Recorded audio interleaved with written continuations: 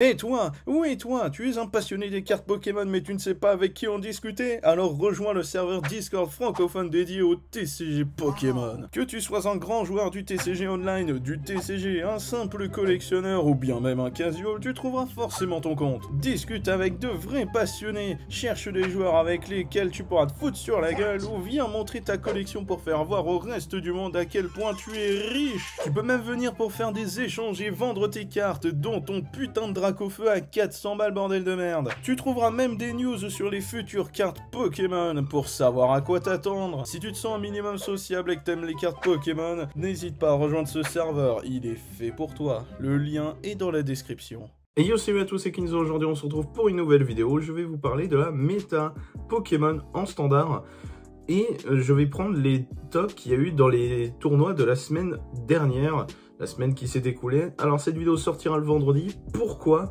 Parce que l'extension Reine de Glace est sortie un vendredi 18, probablement 18 juin. Et euh, du coup, je me suis dit que prendre les tournois du samedi au jeudi, c'était une bonne... Euh, bah, ça marchait bien, quoi, voilà. Ça fait les tournois du week-end et tout le début de semaine. Je prends aussi ceux du jeudi, la chill series, euh, je prends que ça en fait. Et le vendredi, je ne prends pas parce que bah, faut le temps de ploder cette vidéo, hein. j'ai une connexion de merde, donc avec ce qu'on a et de la faire et tout. Bref. Et aussi, voilà, il me fallait un jour de pause quand même euh, pour analyser tout ce bordel. Donc, on va faire tout ça dans cette vidéo. On va prendre les tournois les plus anciens de la semaine et on viendra au fur et à mesure euh, sur, euh, bah, sur, sur le dernier tournoi en date. Je prends 5 tournois les plus gros. normalement, c'est la Yusha, la... je sais plus, on verra. Bref, du coup, Premier tournoi, donc à chaque fois je prends les plus gros tournois parce que c'est plus représentatif. Je dis pas que les tournois un peu plus petits sont pas, euh, enfin ne, veulent rien dire. Non, mais c'est juste que voilà, c'est les plus gros tournois, donc je pense que c'est eux qui montrent le plus ce qu'est la méta. Voilà, maintenant qu'on a dit tout ça, on va aller voir euh, la Yosha Cup, 165 participants, gagnée par un archiduc. On va globalement regarder le top 16 Bon, je vois qu'il y a pas mal de Shadow Rider, c'est normal, c'est le meilleur deck actuel, Shadow Rider, et de très loin. Euh, Zacian ADP, on voit aussi du Spiritomb. Spiritomb, ça prend la rotation, c'est dommage parce que c'est vraiment cool comme deck. Un Eternatos et un Pyrobut qu'on se fera un plaisir d'aller voir quand même. Donc ouais, on va prendre euh, tout le top 16.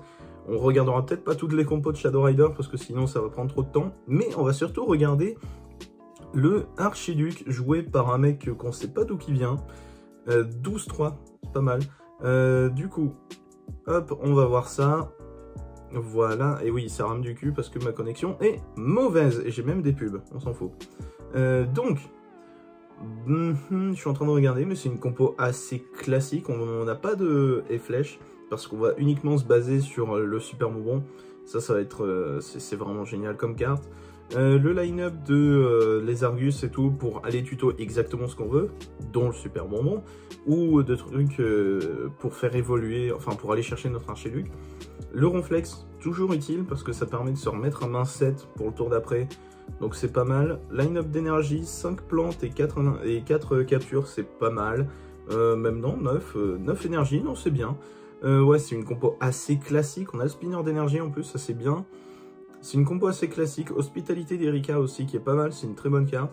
Euh, mais ça reste une compo assez classique, mais il a gagné le tournoi, donc c'est cool. Voilà, alors qu'est-ce qu'il y a eu d'autre? Le deuxième, c'était un Eternatos. Eternatos, euh, assez classique de ce que j'en vois, on va voir la vraie... Euh, voilà le temps que ça charge. Euh, oui, bah c'est assez classique. Là, l'énergie garde faiblesse, étant donné qu'on a euh, un fameux Chifours dans la méta, euh, c'est quand même... bah ça va être quand même très très nécessaire. mais sinon, à part ça, c'est une compo assez classique et plutôt bonne. J'aime bien le Léopardus. Ça permet d'enlever un outil à un Pokémon, donc ça c'est bien. C'est une très bonne, très bonne carte. Sinon, euh, le Big Charm, on remarque le Big Charm pour éviter de se faire one-shot par euh, plein de trucs, en fait, parce qu'il y a des trucs, euh, il y a des Pokémon qui vont mettre pile 340, donc one-shot le Eternatos, et avec ça, c'est pas le cas, donc c'est bien pensé. Après, on a le fameux Sulfura qui, fait beaucoup de choses, enfin voilà. Une compo assez classique. Le Spiritomb, on va regarder, même si les, les, Les Spiritombs, ça se, ressemble énormément, mais c'est juste que ça fait trop plaisir d'en voir, parce que ce deck, est trop cool, et c'est dommage que, ça prenne la rotation, ça. Mais bon, écoutez, qu'est-ce que vous voulez? Ouais, bah voilà, hein, je vous la montre pour, vous la montrer, parce que la compo est assez basique, mais elle est, elle est cool. J'adore Spiritomb. J'adore Spiritomb. Bah, en même temps, déjà d'une, c'est la 4G. Voilà. Ensuite, on a un Zacian ADP avec... Euh, oula. Avec plein de Pokémon. Alors, on a du Sulfura. Voilà, en fait, c'est quelque chose qui va couvrir euh, pas, mal de, pas mal de choses. Faire des grosses attaques sur les Eternatos avec le Elector.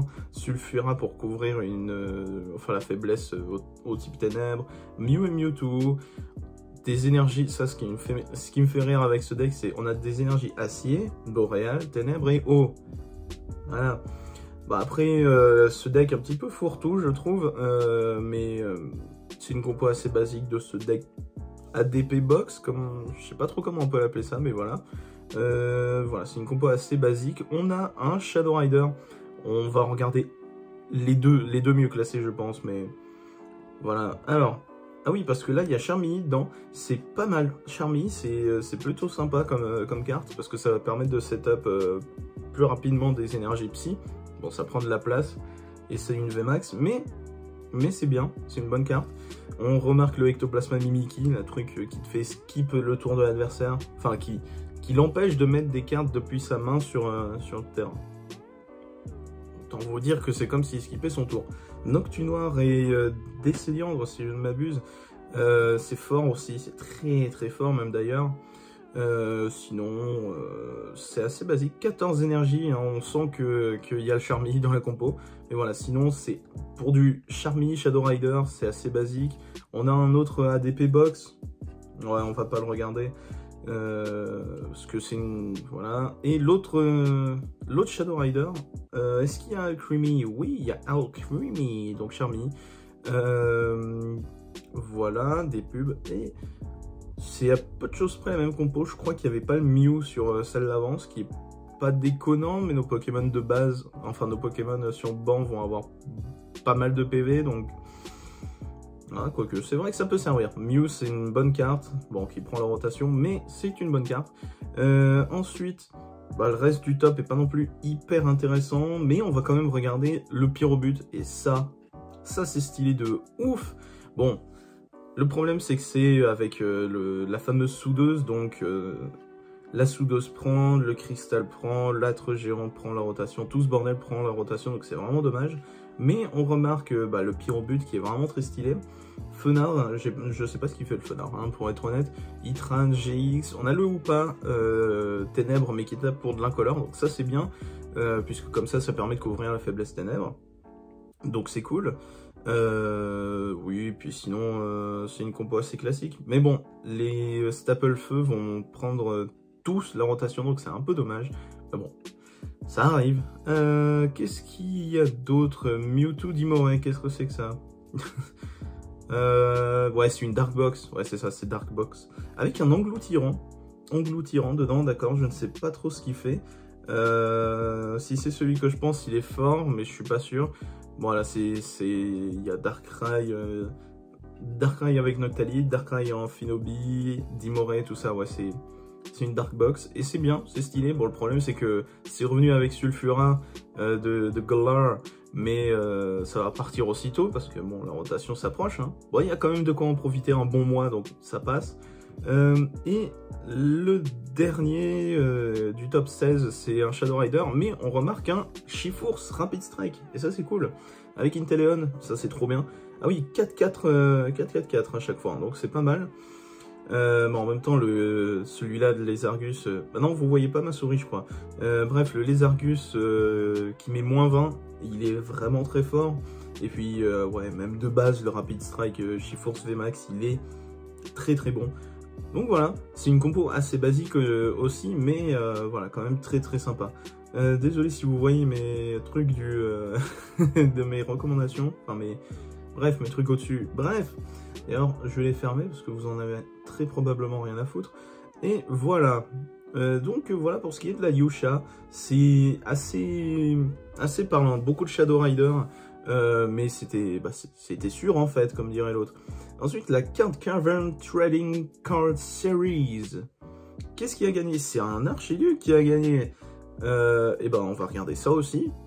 Archiduc, vraiment très très fort. De toute façon, son talent, il est broken. J'adore ce deck. Sinon, euh, j'ai l'impression que c'est l'exact même compo. Ça se trouve, c'est le même gars qui, a gagné. Hein. J'ai pas fait gaffe, mais, mais voilà. Euh, on remarque les échos. Echo, c'est trop fort. Vraiment, c'est trop trop bien. Euh, mais sinon, compo assez, assez classique, ouais. Ouais, elle est bien. Après, voilà, il y a pas mal de decklists qui vont se ressembler, hein, pour être honnête. Mais, mais ouais.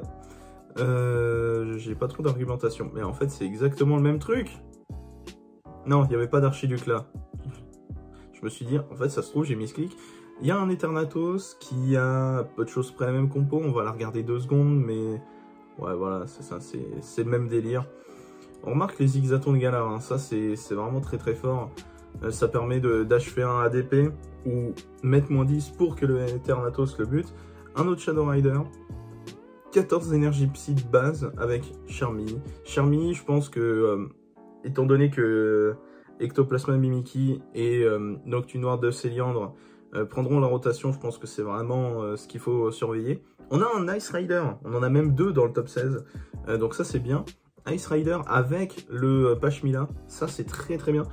J'ai une préférence pour Pashmila, même si en ce moment je suis en train de tester avec le, le line-up Les Argus. Pashmina, j'aime bien le fait de juste défausser Draw et Advienne que pour un, mais j'avoue, le Lézargus permet d'aller tuto euh, Lona par exemple. Les deux versions se défendent, je trouve, euh, mais voilà, j'aime bien. 8 énergies haut, ça me paraît pas beaucoup, mais disons que s'il a atteint le top 8, euh, je crois, c'est que ça s'est bien passé. On remarque le sentier blanche sim, c'est trop trop fort ce truc, c'est vraiment exceptionnel. Euh, étant donné qu'on va passer pas mal de, compos en vue, euh, je vous laisse pas regarder les effets des cartes. Euh, désolé, mais bon, on n'a pas le temps. Je sais même pas depuis combien de temps on tourne. Moins d'un quart d'heure, ça peut le faire. on a un Zacian ADP, mais ouais, c'est ça, c'est un ADP box. Le Zapdos. Il est où le Sulfur ouais, il est là. c'est normal, c'est normal, c'est une compo basique. On a un autre Archiduc. Comme quoi, euh, vraiment, le machin, il est vraiment bon. Euh, Eternatos. Oh, c'est Piatros avec euh, le Dimoré. Donc ça, c'est fort. C'est très fort. C'est... Enfin, c'est très fort. En gros, ça fait pas mal de contrôle. Si je ne m'abuse, le Cepiatros VMAX fait dégager une carte de la main adverse, donc c'est plutôt pas mal. mais ça reste assez porté Dark Box et genre tout ça. Donc bah, toutes les GX ça prend la rotation, le Dimoré ça prend la rotation. Mais quand même, euh, Darkbox, euh, c'est revenu euh, à fond et je trouve ça vraiment stylé. Bon, le problème, j'aimerais bien me le faire, mais disons que si je le joue pour, deux, pour une ou deux vidéos et un tout petit peu pour le fun, puis, que, puis que le deck meurt, j'avoue que je suis pas trop trop intéressé. mais bon. Et du coup, voilà pour le top 16. Ah non, il y a un Picarum qui a fait top 16 on en voit de moins en moins. Peut-être que les gens se préparent à d'autres decks, étant donné que Picaron prend la rotation. C'est possible aussi. Euh, mais au moins, il est là, donc c'est cool. Euh, pardon, on remarque le ou pas euh, incolore, enfin, qui tape pour de l'incolore. Ça, c'est bien. Tokorico, le fameux. sinon, ouais, ça reste assez classique dans... Dans, dans on va dire. Donc, voilà pour la... Alors, attendez, c'est la Card Cavern Trading Card Series. Damn euh, voilà, hop, allez, on va remonter plus facilement et on va regarder la Australia TCG. On a 128 euh, joueurs, donc euh, ça me paraît plutôt pas mal. C'est un ADP Box qui a gagné. Ouais, voilà, je vais vous montrer la compo, étant donné qu'il a gagné quand même, lui. mais ouais, ça reste assez classicose quand même, je trouve. je suis en train de regarder s'il y a des trucs qui changent un petit peu. On remarque la Forêt de Jade, hein, étant donné qu'il a différents types d'énergie ça reste très très bien. Et puis ouais, franchement, c'est un, deck, euh, un deck assez sympa, euh, parce qu'il va pouvoir couvrir toutes les faiblesses et tout, enfin vraiment c'est bien. Euh, voilà, un autre ADP Box, enfin j'appelle ça ADP Box, vous l'appelez comme vous voulez. On a un Rapid Strike Shiforce qui a fait troisième, ça c'est pas rien, avec un Inteleon Quick Shooting de moins, enfin celui qui fait moins 20. on remarque le, oh, le Sulfura dedans, Ok, c'est un petit peu... Euh... Ouais, j'allais dire, c'est un peu dangereux, mais avec 5 énergies ténèbres, sans doute un peu de défausse. Ouais, je vois la rapid ball et tout. Ouais, étant donné que le chiffon, ça a la faiblesse psy, c'est très bien. Euh, donc comme ça, il, a l'avantage du, type avec 3 euh, sulfurins, ça fait beaucoup, mais étant donné qu'ils vont se remettre eux-mêmes les énergies, euh, c'est pas trop grave.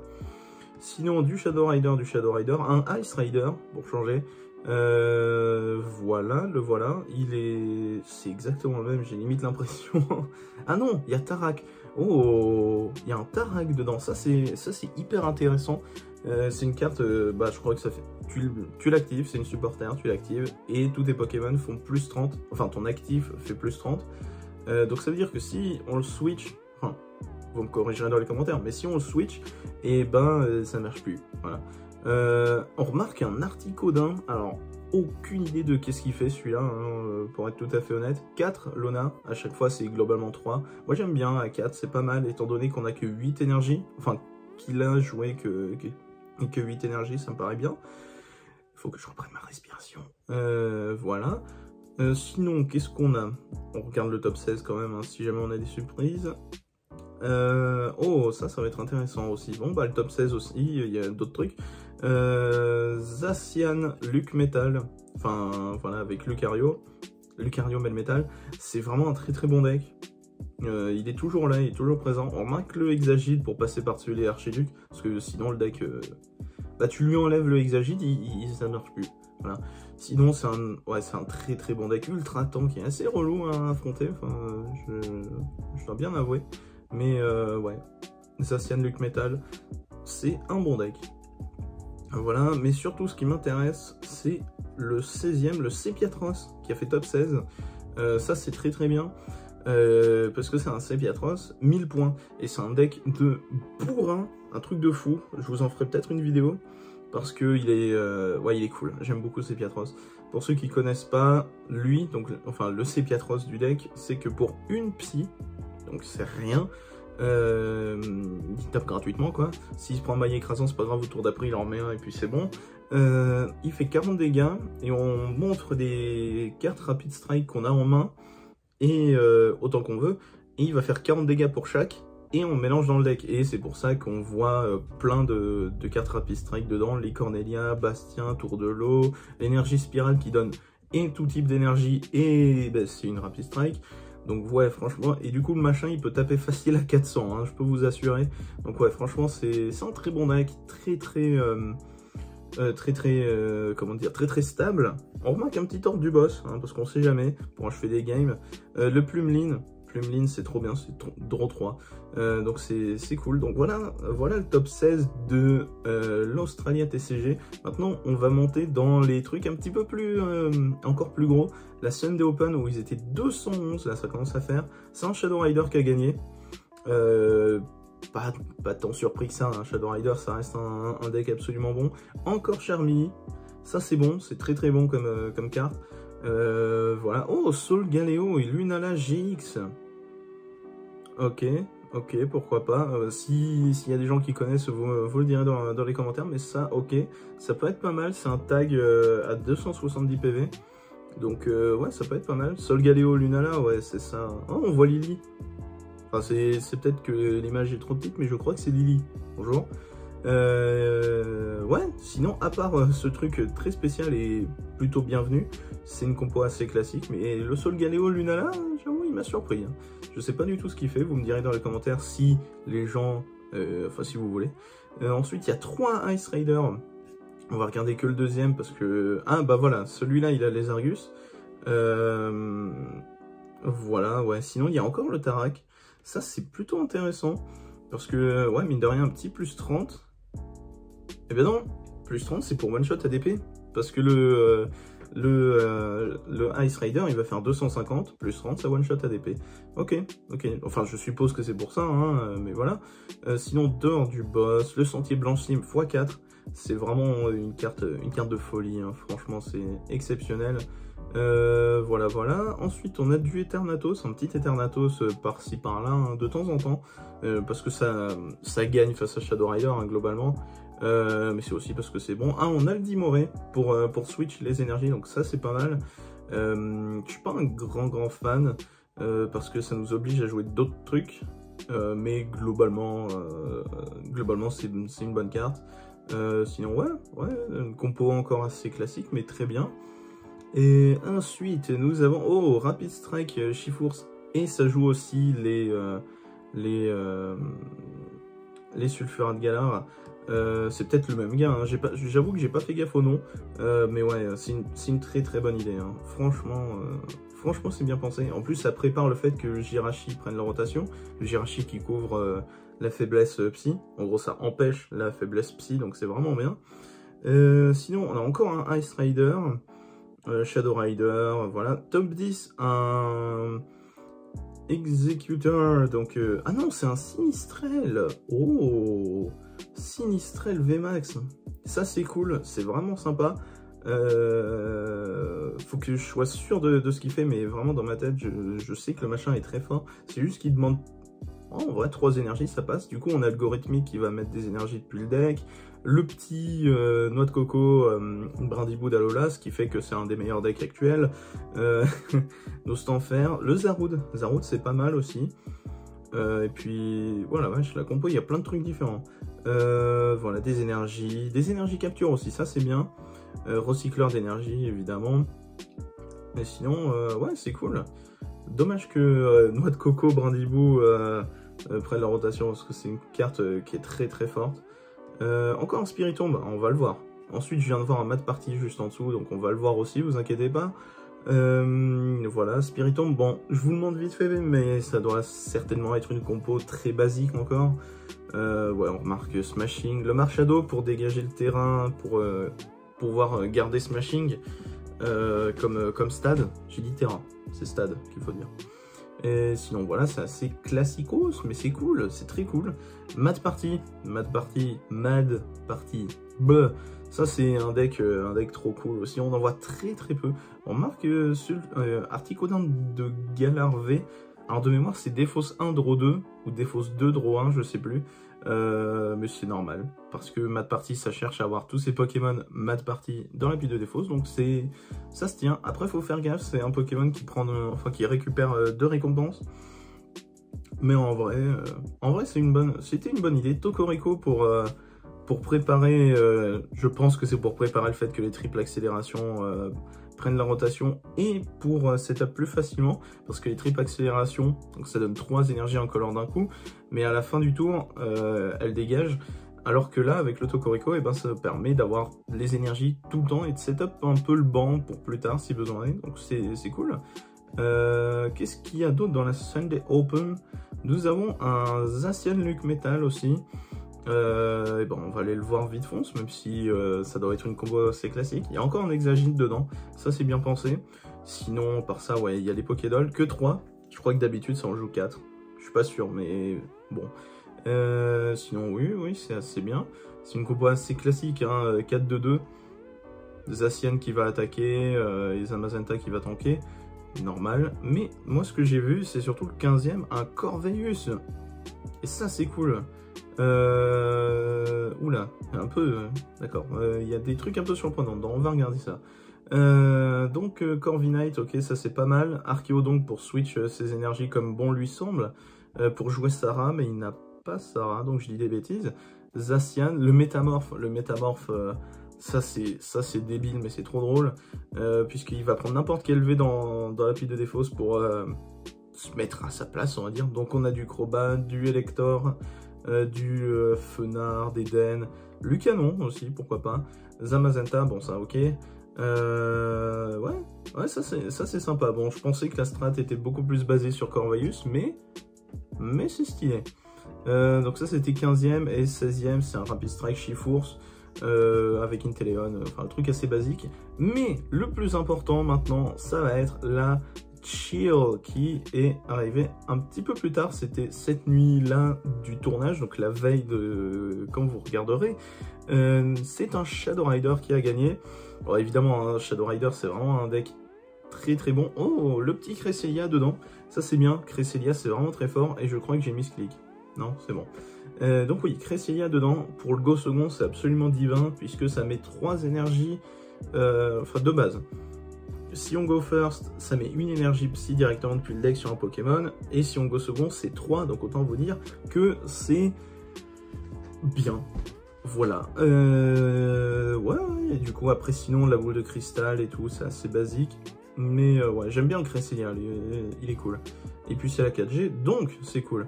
Euh, Rapid Strike Shifours qui a fait deuxième. On va regarder ça euh, vite fond souci. Ou aussi, hmm, ça ne veut rien dire ça.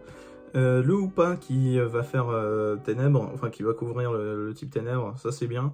Euh, étant donné que ça tape de l'incolore, c'est trop cool. sinon, ouais, ouais, truc... ouais, c'est cool. Je remarque que maintenant ça joue même pas le, le Octillery. mais bon, pourquoi pas. ensuite, encore un Sepiatros VMAX avec Dimoré. Enfin, le Sepiatros Dark Box, on va dire ça comme ça. ouais, c'est cool. Oh, on a la Sarah un peu surpris. Bah non, bah non, puisqu'il y a le Dimoré qui va euh, switch les énergies. Non, bah c'est bien pensé. Euh, ouais, sinon c'est non, c'est grave cool. Sepiatros, on a deux decks Sepiatros différents dans la méta quand même, c'est cool.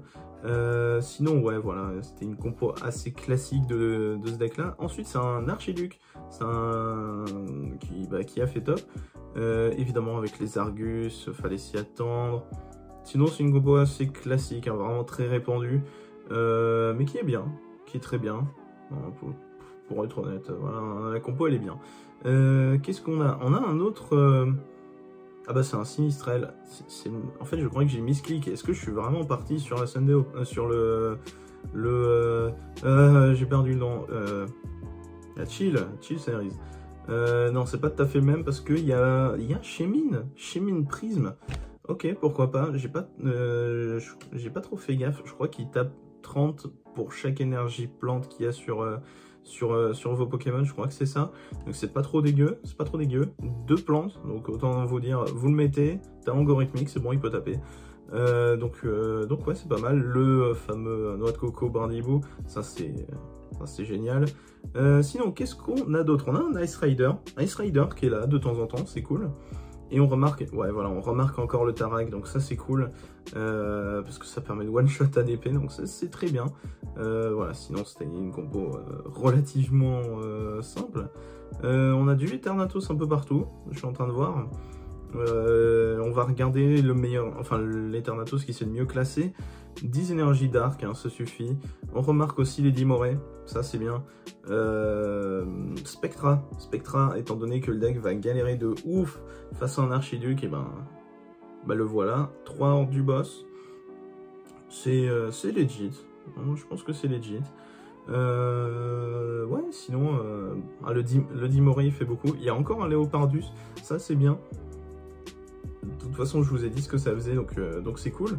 Euh, on a un Sepiatros. Sepiatros, et oui, c'est le... Euh, c'est le Sepiatros 1000 points, mais qui joue les Lézargus cette fois. J'ai déjà testé les Argus avec Sepiatros. Je suis pas un grand fan, je préfère avec Pashmila. Même si j'avoue que c'est pas déconnant, étant donné que le Lézargus euh, de Glace est un Pokémon 1000 points, donc c'est bien. Après, euh, ouais, ça c'est assez, euh, assez simple. 3-3 au niveau énergie, mais le deck il tape pour une énergie, alors bon, il n'y a pas besoin d'en jouer des masses. Donc ouais, Ouais, ouais, c'est cool aussi comme compo. Euh, qu'est-ce qu'on a d'autre qui a fait euh, des trucs stylés à la chill? On va se permettre de regarder le top 32, étant donné qu'il y avait, euh, je sais plus, plus de 400 joueurs, je crois. du coup, il y a du Eternato, Shadow Rider, une autre ADP Box. Ça fait un moment qu'on n'en avait pas vu, là. Deux Zacian Luke Metal, ça c'est bien, ça c'est bien. un autre Ice Rider qui est là, très bien aussi. Oh, il y a un petit Spiritomb là. On a un Mewtwo avec euh, Gorithmic, donc ça doit être un, Mewtwo, euh, Mewtwo plante quoi en gros. Euh, oui, c'est ça, c'est ça, c'est un Mewtwo plante. on remarque le Fel Inferno. Oh, un Dracolos GX, je savais même pas que ça existait. Bon, écoutez. du coup, ouais, avec les Ultra Chimères là, la Rafflesia, ouais, c'est sympa. Ouais, bah c'est ça, Gorithmic Plante qui a fait un, top, top 32. Enfin, je sais plus combien, combien j'ai vu celui-là. Il a fait 24, donc c'est pas mal. On a un Spiritomb qui c'est 27ème. C'est bien, c'est très bien, 27. Euh, bon, après, pareil, hein, c'est une compo assez basique. La Dark Energy euh, SP pour euh, faire des coups de retraite gratuits. Ça reste une compo assez basique aussi. Mais c'est cool, donc tout va bien. Qu'est-ce qu'il y a d'autre d'un peu intéressant dans le top 36 36, non, 32 normalement. Vu comme c'est un gros tournoi, j'ai envie d'aller jusqu'au top 64, même si là, ça commence à devenir pas trop intéressant, mais c'est pas grave. Euh, ouais, du... Oh là là, il y, a une grosse ligne de Shadow Rider, dis donc. Euh, avec un Eternatus qui s'est perdu au milieu. Euh... Oh Noctunoir de Céliandre. Euh... Ok. Ah oui, genre vraiment basé, euh, basé là-dessus. D'accord, c'est assez surprenant. Mais pourquoi pas. Euh... Ah oui, c'est un... Ouais, c'est assez contrôle. De ce que je me souviens, c'est assez contrôle. Ouais, je vois Jesse James. Ouais, c'est ça, c'est un truc qui bloque euh, la main euh, la main adverse. Ok, ça c'est sympa. Bon, ça n'a pas fait un résultat de fou, hein, comme vous voyez, mais au moins ça permet de voir des decks un petit peu plus différents. Il y a un Victini qui est là. Bon, il a fait 8-5 drop, mais au moins ça existe. le petit Victini VMAX, donc ça c'est cool. ouais, ouais, c'est ça. Le truc qui est bien avec Victini VMAX, c'est que ça tape que pour deux énergies, donc c'est très fort, dont une incolore en plus, donc encore mieux. Euh, voilà, sinon le reste du top 64, euh, il y a un archiduc, 8-6, bon, on va pas regarder parce que bon là ça devient vraiment moins bien. Euh, mais ouais, bon du coup, qu'est-ce qu'on remarque? On remarque qu'il y a beaucoup de Shadow Rider, évidemment, mais il y a quand même une méta ultra variée, c'est quelque chose de génial. Franchement, la méta Pokémon, elle est ultra variée. Vous avez vu, je sais pas, je sais pas combien de decks différents on a vu. Et encore, là on a eu 2 euh, euh, pas beaucoup de trucs un peu bizarres qui sont, euh, qui ont, qui ont fait des tops. Mais il y a vraiment des semaines où des fois tu vois des decks, tu sais pas ce que ça fout là. Là on a vu du Pyrobut, VMAX, on a vu du Mat Party. Et oui, on a vu le C4OS 1000 points. Enfin bref, voilà pour ce qui est de cette analyse de la méta de la semaine. La vidéo est longue, du coup je vais galérer à l'uploader, mais écoutez, hein, c'est un premier j'essaierai de faire plus court hein, la prochaine fois. Euh, donc voilà, j'espère que ce format vous aura plu. On essaiera de faire ça toutes les semaines. J'ai dit essayer. Hein. On, va essayer, écoutez, bon bref, euh, du coup voilà, j'espère que ce format vous aura plu, on se retrouve prochainement pour la decklist Archiduc, les Argus sur le TCGO, j'espère qu'elle vous plaira, de toute façon, vous avez intérêt parce que c'est Brindibou, quoi. Ça peut être que bien. Du coup, voilà, j'espère que cette vidéo vous aura plu. C'était Kinzo. Allez, salut